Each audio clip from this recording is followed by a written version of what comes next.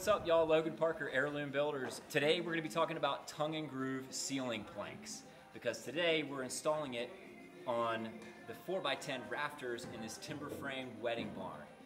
It looks super slick, it gives a really nice finish,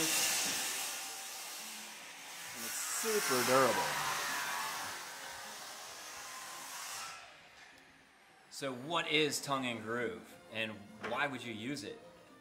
So right here we've got tongue and groove board that fit together like that. The tongue fits right there in that groove. And what that does is allows you uh, a little bit of flexibility as the wood expands and contracts. And another benefit of tongue and groove is that wood has a tendency to move, to twist, to cup, um, and so you have to really fasten it down well. And if you don't fasten it super well, um, or even if you do fasten it super well, and you have really um, wide spans in between, like we do here, we have four foot of space in between each uh, 4 by 10 rafter. So if the wood wants to kind of move like this in between each rafter, the tongue holds them together so they can't shift up and down. That keeps our roof surface, our finished metal roofing super flat and attractive. In this case, is we've got two different sides to this tongue and groove board. The top is square edges, and the bottom has this V groove, so that when you put these two pieces together with a half a V on each side, it ends up creating a full V. And now what that does is it also, again, gives you a little bit of flexibility when wood expands or contracts you're not going to be able to see that gap as much if, if it's hidden within a V. Contrast that to a gap on this square side that happens right there. You can really see it creates a deep shadow line that wasn't there at all before. Um, so that's probably the two biggest advantages of tongue and groove decking.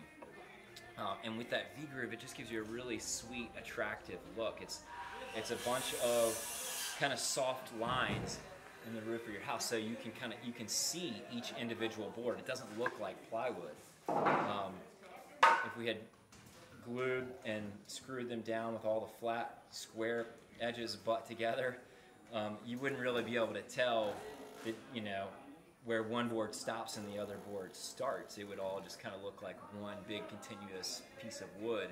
And when you're looking from 20 feet down below, it's really nice to see the depth of that board. It's really sweet look.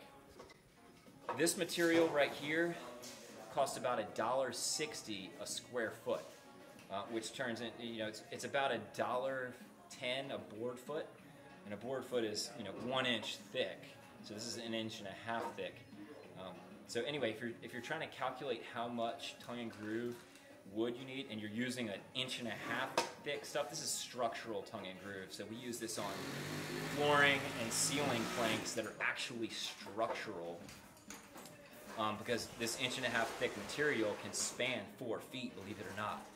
Um, we've had to glue the boards together with the tongue and groove and screw them down with two lag screws at every rafter to get this to be a structural sheathing essentially. But this inch and a half thick board can span four feet. You can get up there and walk on it and not even feel the, the floor bending or the roof bending underneath your weight. So it's a really solid surface that serves as our roof decking and our finished ceiling. Since we're in an uninsulated barn essentially, it's a wedding venue. Um, we're not insulating. It's a three-season wedding venue, and so I figured we would stack our functions, double our our benefit by making this this roof sheathing into our finished ceiling as well. And it gives us the benefit of being able to look at a super attractive finished ceiling as we're installing it and as we're continuing to work in here, we get to have the benefit of, of kind of working in a finished, amazing space. So it's really fun for us as installers to use this product. Um, so anyway, a dollar sixty a square foot is what we pay for this material, the structural material. You can you can probably count on it being about a dollar a square foot for your typical three quarter inch thick tongue and groove. If you're going to use um, just a finished surface ceiling that's non-structural. Um, if you want to add tongue and add a tongue and groove ceiling to your screen porch that already has drywall or plywood or just open rafters, if it's not structural, you can use a three-quarter inch board and totally get away with it. Um, they're a lot easier to handle, a lot lighter weight, um, and they're more cost effective to do that. This is structural, so that's why it's an inch and a half thick. It costs about two dollars a square foot to install it. Um, so you're looking at a total of about three dollars and fifty cents a square foot to install this beautiful finished tongue and groove wood plank ceiling. You know, you can install this as your, this is the subfloor, the finished floor, and the finished ceiling all in once. This product, when we put it on the loft floor, is going to be three things at once. Um, and, and only one installation step. So that's why we're using it here because it gives us a super attractive finish for the same cost as what it would be to install just part of a normal finish on a house. So there's quite a few tricks to installing this product. Our objective here when we install this tongue and groove ceiling is to one create a structural diaphragm so that our roof won't blow down in a hurricane or super heavy wind event. Um, and secondly, to create a, a, surface to mount our finished roofing. In this case, we're going to have a steel metal, painted metal roofing. Um, so we want a super nice, flat, square roof to mount our roof metal on. And we want a really attractive finish. There's a bunch of different techniques to make this happen. The, the first thing that we do is we lay out the very first course that starts on the drip line the bottom of your roof. You want that to be super straight and super flat. And the way that we achieve that is that we, we measure up from corner to corner of the roof the width of this board and then we snap a chalk line and then we run the top edge to that chalk line so that we have a nice straight course. If we follow the fascia and there's a little bit of a bow in it, you know, our boards are going to be like this. And we're going to be trying to follow those inconsistencies with these straight boards. So it's really important to start your first course along a straight line and then everything else installs really easily from there. Um, in our case, we had some rafters that, because they're rough sawn, they were bowed pretty significantly. So we had to uh, snap a line from one end of the rafter to the other end of the rafter and cut off that half moon shape where there was so much of a camber that our board, our ceiling boards would have gone up an inch and back down an inch from rafter to rafter. Um, and you'd be able to see that from underneath, and that would be uh, not ideal. So. So we went ahead and, and, ripped down the couple of rafters that we needed to to get a nice flat roof plane along our rafters. And then we ran our tongue towards the bottom of the fascia. And we ran it long, we ran it proud of the fascia. My fingernail is uh, represents the surface, the outside surface of the fascia board, which is the finished end of all your, your roof rafters, so that we could come back this roofing is going to be, this tongue and groove is going to be on an angle, and our fascia is plumb to that. So we want to basically set this over top of our fascia, overhang it just about a half an inch, the width of this tongue, and then come back and rip that angle off. So we have a nice flush edge right here. So when we put our roof metal and our drip edge flashing on, we're going to have a lot of adequate nailing and there's not going to be a gap where water could eventually drain or blow up underneath and get behind our fascia and cause damage. Um, so we flatten out the tops of our rafters, we make a straight line, and then we overhang and rip the front edge so that we have a nice, clean, straight line. Because when you're when you're looking from the outside of a building up at the roof, that's the number one thing that you're going to notice is that drip line. If it's wavy like this, you're going to see it and it's going to look like crap. So you really got to make sure that you flatten that out. Once we screw down the first course of this tongue and groove decking, um, we're pretty much good to go. Uh, but some of these boards along a 12 foot length are going to be bowed or twisted, and we're going to have to kind of hammer them in. Um, so there's a few techniques that I'm going to show you right now that allow us to get all these joints super tight so that when you're looking from the bottom, they look really tight. Um, if we don't take any precaution to keep these things tight and we have big gaps that are inconsistent, it's not going to look super sweet. And moreover, if there's any contraction over time, it might fully open that joint. So we want to really hammer these boards tight. And the way that we do that is when we cut our first board, we cut it to be to land on the center of a rafter.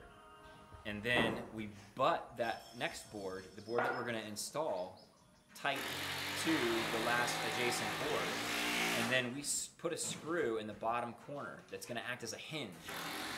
So that when we, when we pull or hammer that board and get the bow out of it, it doesn't pull or pop out of the groove that we've already gotten snug tight, if you can imagine that. Um, when you're hammering on one side, it's really bowed, it might make the other side pop out. So you've got to screw down the very beginning and then kind of work your way down and fasten it as you go. If there's a bow that you can't hammer out or kick out with your boot, what we'll do is take a screwdriver, or I prefer to use a chisel, hammer that right above the leading edge of your tongue and groove ceiling board your roof deck. Hammer that chisel in right above, and you can use that chisel as it's dug into the rafter to get some leverage to pull that board in alignment and straight flush with the course below it. Um, so it's really important to get these boards as you go side by side. You want to get those boards flush You don't want them to be staggered like that because when you go with that next course above it, you're going to have a gap. So it's really important that you get all these boards flush as you go. One of the biggest things that has saved us a major amount of headache and time and especially money when we did this installation because this is the majority of the labor on this roof. I mean, it takes five days to install this and groove decking on this roof. We want to make sure that that labor is as quick and easy as possible to get a high quality job. So what we do is we lay out all of our rafters so that full length boards just laid down without even cutting. Um, we know all of our spacing is 48 inch on center. We have 12 foot boards. So we get our first cut, which is 10 feet. We have a two foot overhang including our fascia. So since we lap our fascia, our overhang needs to be two foot to the outside of the fascia to the center of the first rafter. And then from there, it's every 48 inches on center. So our first cut is two plus four plus four is 10 feet. And the drop from a 12 footer when we cut that 10 footer is the start, the two footer for the next course. So every time we cut a board, we have a 10 footer and then 12 feet cuts every board down that next course is 12 feet until we get to the end. And then we use the cut, that two foot section, to start the next row, then 12 feet, 12 feet, 12 feet, 12 feet. So there's virtually no cutting, there's virtually no measuring, um, and it just saves an, an insane amount of time. The second trick we do when we're actually laying our boards is we we run all we run all of our boards so each one of these boards comes as like 12 foot 1 inch. So we actually do have to cut them to 12 feet to get them to land in the center, and that gives us the capacity to, to choose and you know, cut off a check like that or some kind of other structural issue that might be there. Um, if we left them all full length, 12 foot 1, eventually after four boards we'd be four inches shy. We'd have to add an inch every time. So um, what we do is we cut them to exactly 12 feet, and then by the time we get to the end, we run that last board long.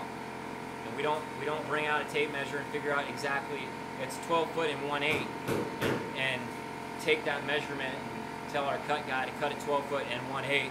We just put it up there, screw it down, and then when we get to the end and all of our tongue and groove is installed, we can snap a line from the top to the bottom along our fascia all the boards at one time. That saves us measuring 65 times and it saves 65 cuts and the time in between measuring and cutting. And all we have to do is wait till the end, snap a line, and make one cut. It's as easy as that. So those are the best ways that I know to save yourself a significant amount of time and money and get the best product that you can. So Um, we're gonna keep installing this material and hopefully we'll be done by the end of the day. So um, we better get back to it.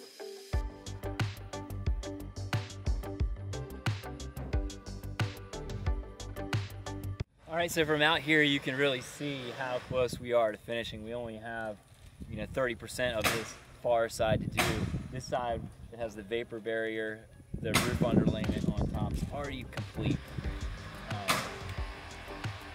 You can see how beautiful it is even from out here. So once you step inside, it just kind of pops and it really makes you say, wow, this stuff is incredible.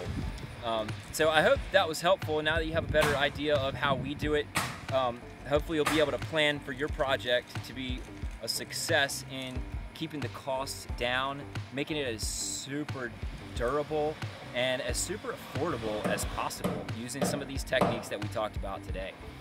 So I hope you found it helpful. If so, smash that like button and make sure to subscribe to our channel because we're going to keep following this project all the way to the finish. And we got some real sweet details that we're going to be talking about. So thanks for hanging out. Until the next one, y'all. Peace out.